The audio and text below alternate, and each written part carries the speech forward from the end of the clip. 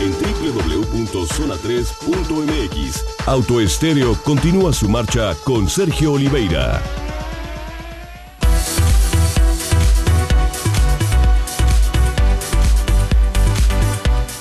Muy bien amigos, estamos de regreso aquí en Autoestéreo 3122 4200 3122 4266, Twitter arroba zona 3 noticias, página web www.zona3.mx, mi Twitter personal arroba Sergio Oliveira M, mi página de Facebook Sergio Oliveira. Tengo aquí un correo electrónico de José Luis, no trae eh, el apellido. Eh, felicita por el programa, muchas gracias José Luis, dice que se hizo adicto Muchas gracias. Y José Luis es que tiene un Corsa 2006 Easy Tronic. Viaja todos los días de, de Tepatitlán a Guadalajara porque trabaja aquí. Y quiere cambiarlo por un Camry 2007 porque vio en internet que la versión de 4 cilindros da 13.5 kilómetros por litro en promedio. Y su Corsa le da ese rendimiento. Eh, la ventaja sería la seguridad porque cree que el Camry ha obtenido eh, premios al respecto y el confort aunque cueste el doble. Y quiere saber si lo recomiendo. Ha tenido un Civic 2006, un Altima 2002, un Acro 2005 y un Optar 2007. Eh, mira José Luis, me parece casi imposible que el Camry dé ese rendimiento. Para lograrlo tendrías que ir con cristales cerrados, sin aire acondicionado, solo, a velocidad constante y baja, 60, 70 kilómetros por hora. Pudiera lograr eso. Sería muy, muy, muy difícil realmente que, lo hiciera. Además, por seguridad de manera específica, el Camry no está por arriba, por ejemplo, del Accord, ni del Altima. Eh, yo creo que el rendimiento del Camry va a ser más parecido al del Altima 2002 que tuviste, de alrededor de 10 kilómetros por litro.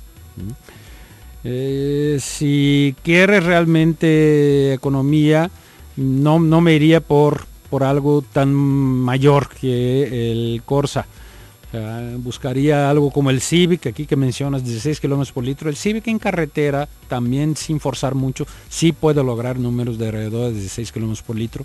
Con cuidadito, pero sí puede lograrlo. ¿eh?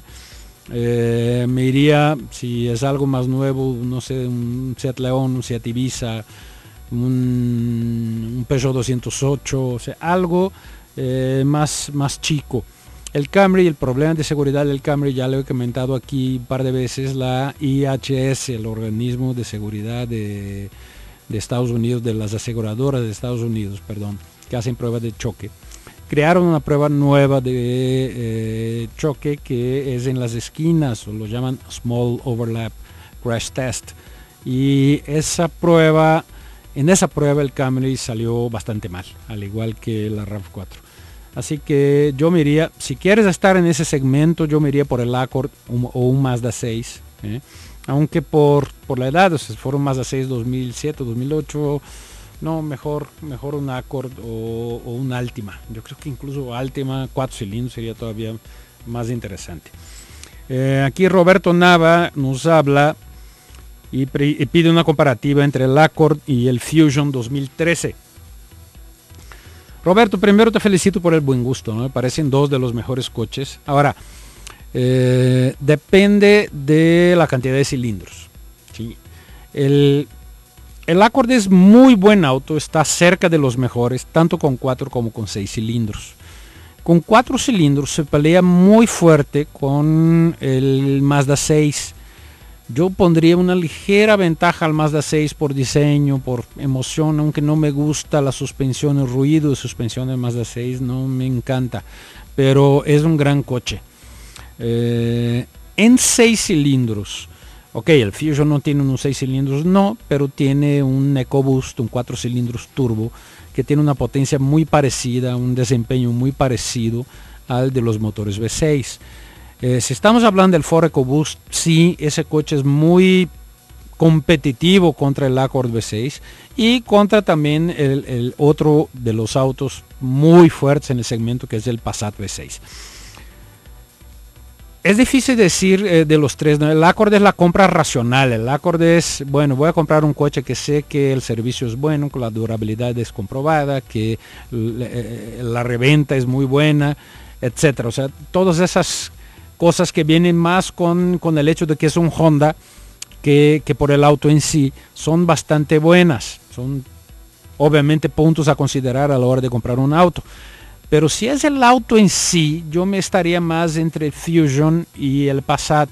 O sea, por emoción, yo creo que el Fusion te da mucha emoción de diseño, de tablero. ¿eh? El, arranque del turbo también es muy padre, en fin.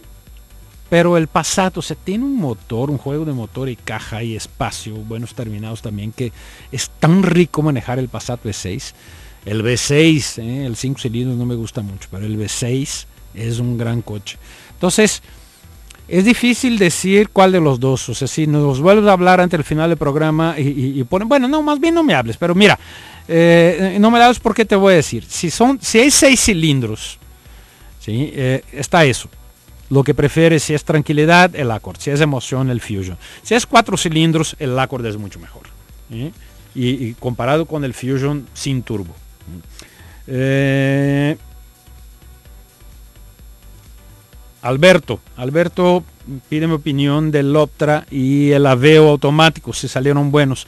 Mira, el Optra me gusta más que el Aveo. El Aveo no me gusta nada y no me gusta, ya lo he dicho aquí muchas veces, porque es un auto con muchos problemas de seguridad.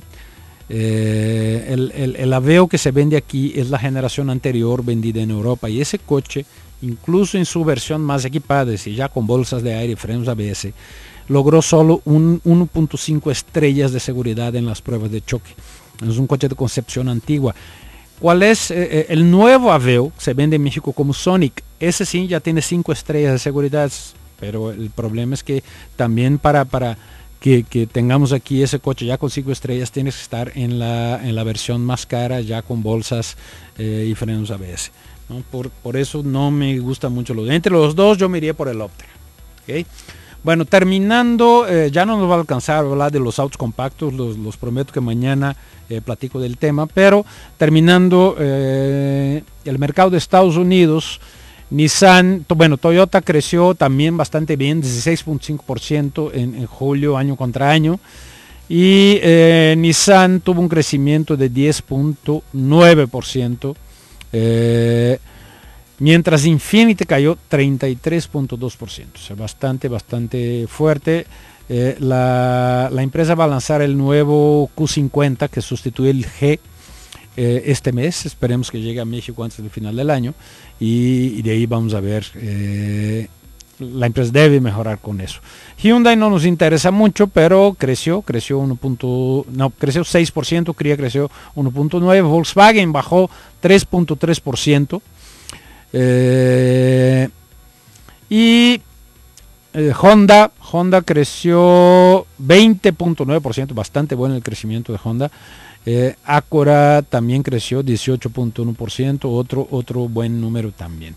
las ventas anualizadas, los analistas esperan que sea alrededor de 16 millones de unidades. El mes de julio ahora fue el mejor mes en Estados Unidos desde 2006, es decir, el mejor mes eh, eh, en los últimos siete años. Finalmente estamos saliendo de la crisis eh, que empezó en 2008. Cuando digo estamos, no, no es porque me sienta americano, estadounidense ni nada por el estilo, sino porque el mercado de Estados Unidos es absolutamente fundamental para nosotros. Es importantísimo para México porque 80% de la producción mexicana se va para allá.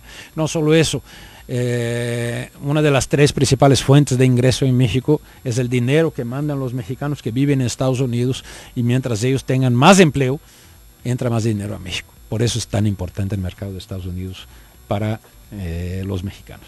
Muchísimas gracias por su atención. Mañana tenemos más autoestéreo aquí a las 3.30 de la tarde. Gracias. Peugeot Guadalajara, la nueva agencia de Grupo Plasencia con la mejor atención de la ciudad. Entra a www.peugeotguadalajara.com. Presentó hondavanguardia.com.mx en Avenida Vallarta 5408, teléfono 3673-4000. Honda Vanguardia presentó. Canal